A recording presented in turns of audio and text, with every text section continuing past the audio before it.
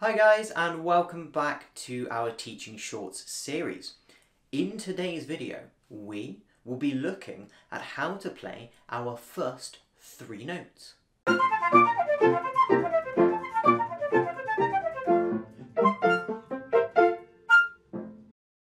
The first note that we want to get to grips with is B. Now this is because it's relatively easy to produce. To play a B, we need to use the following fingers. The first finger on the left hand goes here. The thumb on the left hand goes all the way on the back on this key here. And the little finger on the right hand goes on this little key here. Once you've got all your fingers in position, put the flute on your chin and let's take a huge breath Remember how we did it in the head joint video? Now blow with that hot cup of tea air.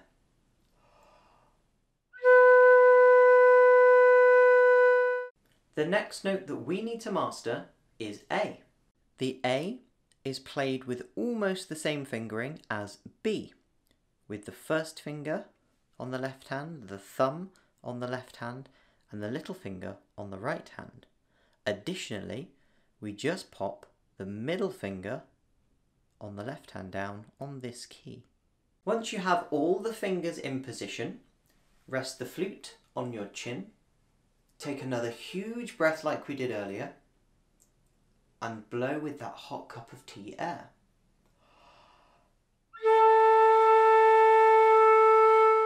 The final note we're going to learn today is G. G is played with almost all of the same fingers as A we use the first finger and middle finger and thumb on the left hand once again. We use the right hand little finger here and all we do to make it from an A to a G is use the ring finger to play the next key down on the left hand. Once you've got all your fingers into position, pop the flute back on your chin, take a huge breath and use that hot cup of tea air to play a G.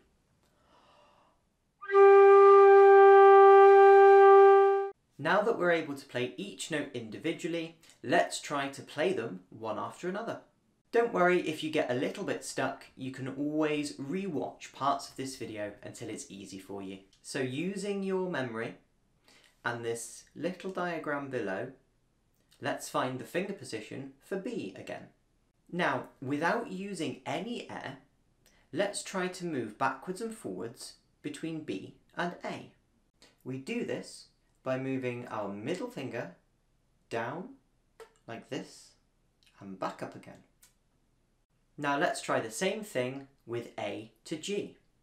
We'll start by using our memories and the diagram below to find the fingering for A. Once we found that A fingering, let's try going from A to G without any air. We do this by popping our ring finger down onto the next key. Now let's try all three. Using our memories and the diagram below, let's find that fingering again for B. Now without using any air, we'll go from B to A to G and back again. B, A, G, A, B. Now let's try that with some air. First, we find that fingering for B again, which is down below. Rest the flute on the chin. Take another huge breath. And without stopping the breath between each note, play B, A and G.